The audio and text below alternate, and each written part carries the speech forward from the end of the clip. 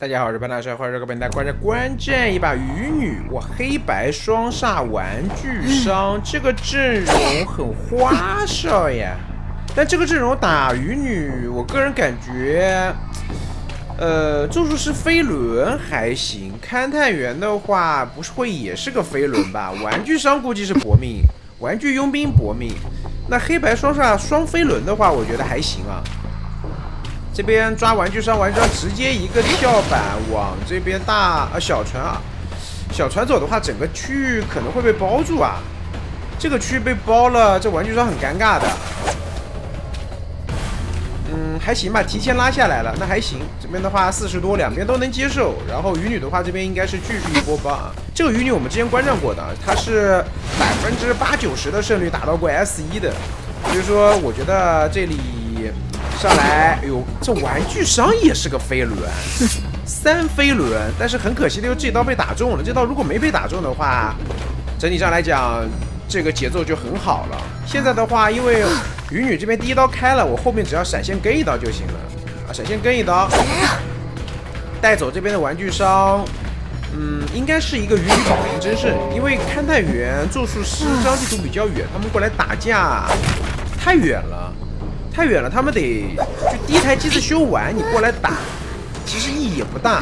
你得是那种就是差不多机子好了的那种来打，拖一拖，保一保可能还行。第一台机子修完，你直接过来硬打，机子不够，又会意味着什么呢？意味着就是鱼女，如果说他你跟他打，他打到一些东西，打到伤害了，甚至有可能就是挂飞玩具商以后来挂你的，那这样的话就给鱼女等于说续续节奏了。就这个局，我觉得穷者比较难的。他们要赢只能打，但是打了呢，特别容易输。还行吧，这边佣兵是 海半救下来，并且没有吃到多余的伤害。这边一刀续一刀带走，这个交换可以接受，可以接受。玩具商的话，这边已经没有跳板了，后续再想要牵制起来，这个点位也没有特别多的东西。三块磁铁勘探员这边应该是有过一波交流，让这个。玩具商躺小船，然后这边看到有打架，但是大家注意的就是这是一个二阶鱼女，她这边如果说包一波水汽，勘探员这边其实不太好发挥的。怎么地？再看他要吸一手，哎呦还可以啊，帮忙扛到，再吸，莱斯数字两连，这波好像打起来了，打出来了，确实他们要赢的话，他们哎冲刺打断，没能成。这个冲刺是否能打断呀？因为我这打一刀是可以打断的，但冲刺我就不知道，因为刚才水汽也没有补上，应该是可以打断的，要不然他也不会冲。一个冲刺当时因为冲刺的时候经常会有一个那个动作的嘛，震一下的，应该可以打断。然后我希望评论区或者弹幕告诉我一下。勘探员再弹一手，好的，这把勘探员已经打出下他的该有的效果了。呃，局上面来讲的话，通过这一波的拉扯干扰呢，已经是哎一刀打下来了，已经是打出了一个求者的保平争胜。我们来看一下现在密码机，现在密码机的话，咒术师这边修完，佣兵最后一台，甚至咒术师还可以过来打架。看那个再吸，人已经放下了，二挂，勘探员没有。这是交飞轮过来补机子，然后勘探员压着救嘛。其实我觉得这个时候咒术师过来会更好一点。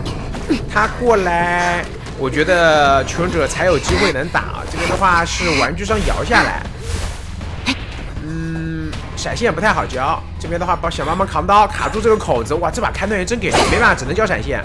磁铁还没好，这边那块板子会下掉。你牵起来，我再下。咒术师有没有过来？没有过来，机子是好了。